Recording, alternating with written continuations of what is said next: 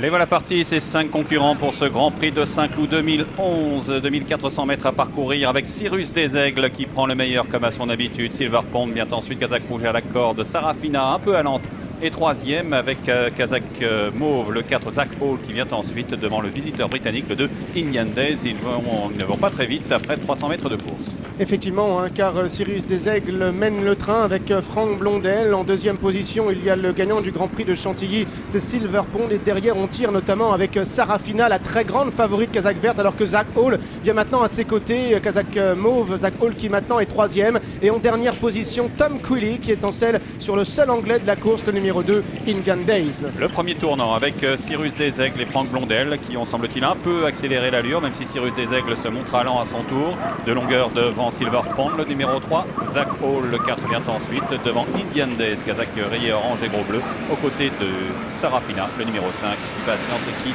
est toujours un peu allant. Et toujours Cyrus Desaigles qui a l'avantage, la Kazakh grise en deuxième position, Silver Pond en troisième position, toujours Zach Hall en quatrième position, Indian Days. La grande favorite Sarafina se retrouvant maintenant en cinquième et dernière position avec euh, toujours Cyrus Desaigles qui va à son train au milieu de la ligne d'en face devant Silver Pond et Zach Paul à son extérieur. Le train qui semble-t-il s'est de nouveau ralenti, ce dont profite le visiteur Indian Days et Tom Quilly pour se rapprocher dans son action à l'extérieur. Sarafina étant maintenant cinquième et dernière. c'est vrai qu'Indian Days qui était cinquième se rapproche peu à peu maintenant. Il est en troisième position, il est à hauteur de Silver Pond alors que Cyrus Desaigles a toujours les commandes. Zach Paul est en quatrième position, Sarafina est en cinquième et dernière position. Cyrus Desaigles toujours en tête à la fouilleuse qui est à son train devant Silver Pond qui est également sur le bord. Indian Days à son extérieur, Zacol patiente devant Sarafina.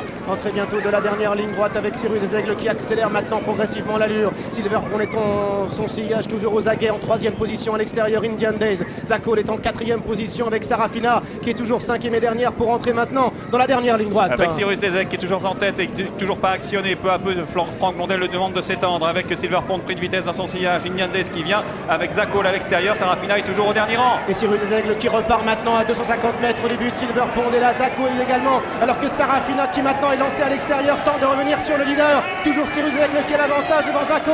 Et Sarafina qui allonge maintenant ses foulées. Sarafina qui termine extrêmement vite. Cyrus Aigles qui est côté corde. Cyrus Aigles, Sarafina de plus en plus vite à l'extérieur. Et Sarafina qui vient s'imposer sur le but. Cyrus Aigles deuxième. Troisième place pour Silver Pond. La quatrième place pour Zako devant Indian Days.